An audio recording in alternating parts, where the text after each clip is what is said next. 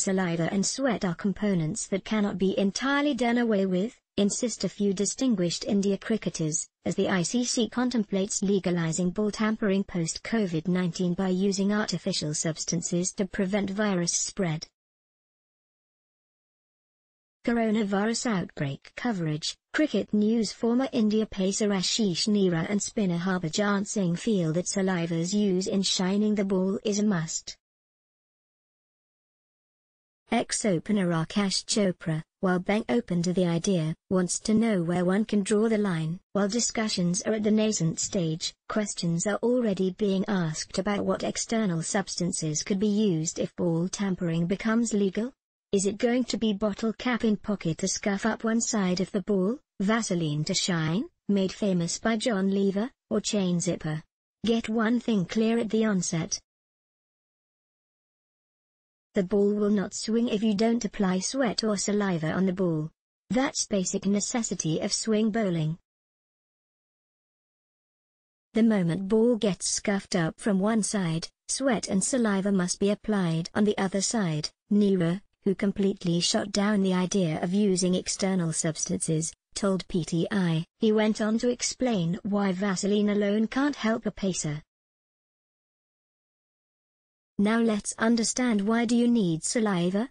Sweat is heavier than saliva but both are heavy enough to make one side of the ball heavier for reverse swing. Vaseline comes into the picture only after sweat and saliva, not before that. It is lighter and doesn't even ensure conventional swing. It can keep the shine but doesn't make the ball heavy, the World Cup winning former pacer said. Nehra then gave the example of Englishman Lever who created a furore during his team's 1976 tour of India by applying Vaseline during a test match. I can bet Lever used sweat and saliva and then applied Vaseline. Vaseline only helps the ball to skid and nothing more. You apply Vaseline only, the ball will just go straight. You can check that with any fast bowler, he said. Harbhajan also agreed that saliva if one has already chewed mint, which has sugar in it, makes it heavier. But when it comes to using external substance, he wants to know what can be the options. It's not that Murray mint can be used without putting it in your mouth. The coat of sugar on a saliva makes it heavier after one side gets scuffed. A scuffed-up ball is also good for spinners as it ensures a better grip than a shiny new ball. But my question is, if you allow, what's the limit? Suppose you legalize ball tampering and let people use bottle cap. Now the ball starts reversing from the fifth over. Is it fair? Or maybe umpires come into play and they tell you now is the time when you can use external substance. I mean, in any case, Taking saliva out of equation means taking swing out which may not be a good idea, said the owner of 700-plus international wickets.